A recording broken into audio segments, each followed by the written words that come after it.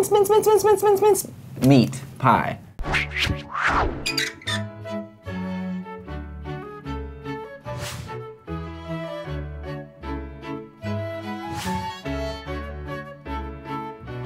Mincemeat pies just reminds me of like a sad orphan. I haven't decided if meat should be in pies, except chicken pot pie. I know that mince just means like finely ground, right? It's like Sweeney Todd, right?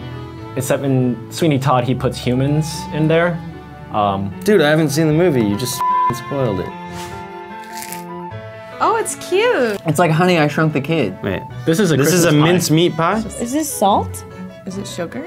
You licked it, and we're gonna have to share it. Sorry. So like, is it like dessert meat? Where's the meat? You don't like it? Oh, it's raisins. Is it raisins? It's not even meat. Wait, is there meat in this with the raisins? Tastes like a pumpkin spice latte. It's better than it smells. This is like a gourmet Pop Tart. It's like a fig Newton.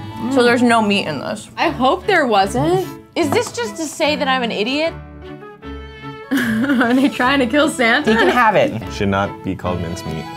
Should change to like raisin shortbread. Here, have some ice cream cake, and it's actually filled with salmon. Like, why did you tell me it's an ice cream cake?